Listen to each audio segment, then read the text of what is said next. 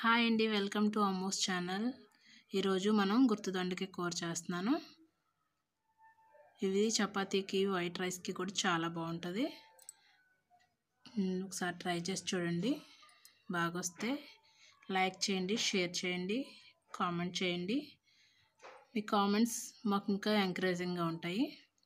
ప్రాసెస్లోకి వెళ్ళిపోతాం ఇవి దొండకాయలు అండి వీటిని అటు ఇటు కట్ చేసుకొని ఇలాగ మనం గుర్తు వంకాయకి ఘాట్లు పెడతాం కదా అలా ఘాట్లు పెట్టుకోవాలి.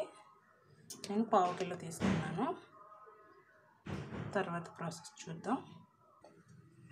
పొయ్యి వెలిగించి ప్యాన్లు పెట్టి ఆయిల్ వేయాలి.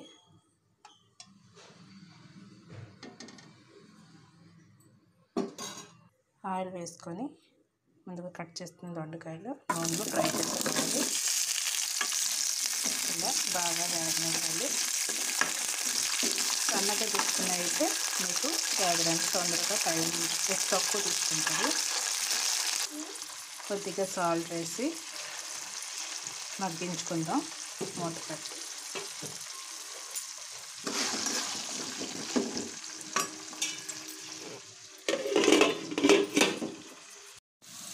బాగా వేగిపోయి కదండి. కలర్ చేంజ్ అయిపోయింది కదా బాగా బాగా వేగాయి ఇప్పుడు మనం దీన్ని బౌల్లో తీసేసుకోవచ్చు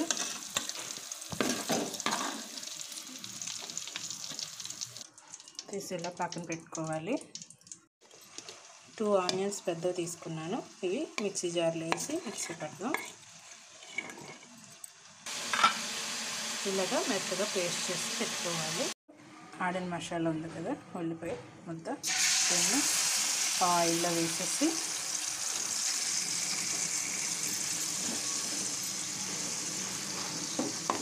బ్రౌన్ కలర్ వచ్చినట్టు ఫ్రై చేసుకోవాలి. దొండకాయలు ఫ్రై చేసిన ఆయిల్లోనే వేసానండి. ఎక్స్ట్రా ఆయిల్ నేను యూజ్ చేయలేదు. ఇలా పొడవుగా కట్ చేసిన చిల్లీ వేస్తున్నాను.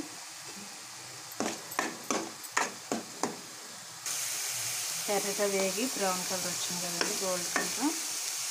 ఆయిల్ కూడా తెలిసింది ఇప్పుడు దీంట్లో టేబుల్ స్పూన్ అల్లం వెల్లుల్లిపై వేసి బాగా కలపాలి. అల్లం వెల్లుల్లి పచ్చివాసన పోయేంత వరకు వేపుకోవాలి. తర్వాత టేస్ట్కి సరిపడగా ఉప్పు నేను రాక్ సాల్ట్ వాడుతున్నాను. వన్ టీ స్పూన్ కారం చిటికెడు పసుపు వేసి మిక్స్ చేసుకోవాలి. ఇప్పుడు ముందుగా వేయించిన దొండకాయలు ఉన్నాయి కదా అవి వేసుకోవాలి. వేసి బాగా ఒకసారి మిక్స్ చేసుకోవాలి. ఇప్పుడు గ్లాస్ వాటర్ వేసి దొండకాయ మొత్తం ఉడకాలి కదండి ఉడికేదాకా బాగా ఉడికించుకోవాలి మూత పెట్టుకొని.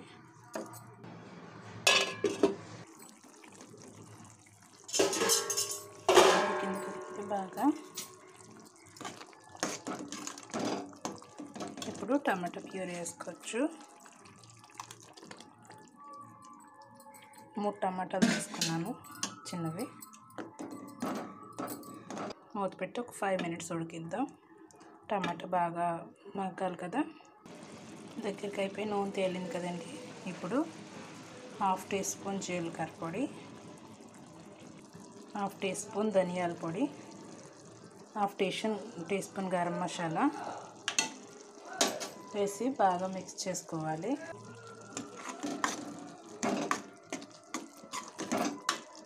ఇప్పుడు సన్నగా కట్ చేసిన కొత్తిమీర.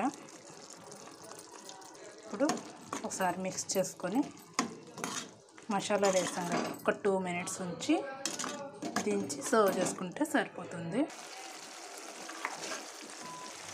ఇవి కట్టేస్తున్నాను ఇప్పుడు సర్వ్ చేసుకోవచ్చు. సర్వ్ చేసుకోవడం